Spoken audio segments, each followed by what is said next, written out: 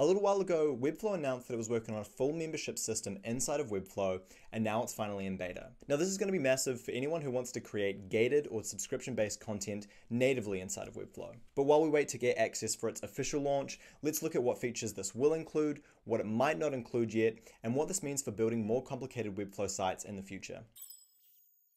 In the past, if you've wanted to add gated content to a Webflow website, you would have had to use an integration such as MemberStack or MemberSpace, and though these integrations have been built to be sort of straightforward, since it's not fully baked into Webflow, there are a couple of workarounds that make it a bit more inconvenient and a bit more complicated. But with memberships built in, we'll be able to easily add gated content for subscribers by defining which pages are only accessible or visible to those who are signed in to your website. And this also includes having different tiers for different types of users, including those who are only on a free trial.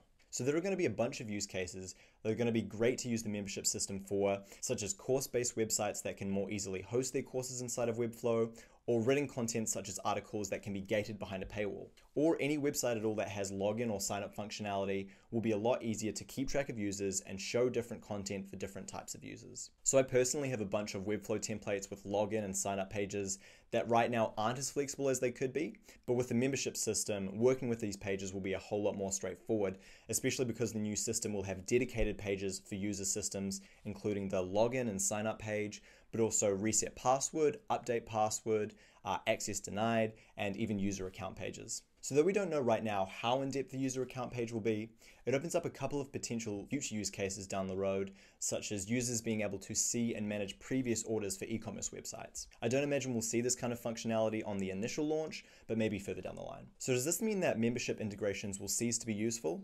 Well, Webflow membership systems won't work for dashboards or no-code web apps out of the box, so there are still a couple of use cases that this new set of features won't cover. So if you're currently using an integration for memberships, switching to the built-in Webflow system might not be useful unless your systems don't rely on complicated setups, such as for a dashboard. We might see integrations like MemberStack simplify by connecting in with this new system, but if that does happen, it likely won't happen until sometime next year. So here's what we don't know yet.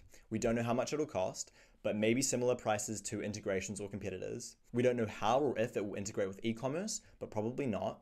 And we don't know when the official launch will be but the official announcement will be at the No Code conference later this year, where we will likely see a hands-on demo of all the new membership features. So let me know your thoughts on Webflow memberships. What are you excited to build? What do you hope they include? And if you're already using an integration, will you be switching to Webflow memberships as soon as you can? Let me know in the comments below. Otherwise, thank you for watching. Go sign up for the memberships beta, and I'll see you on the next one.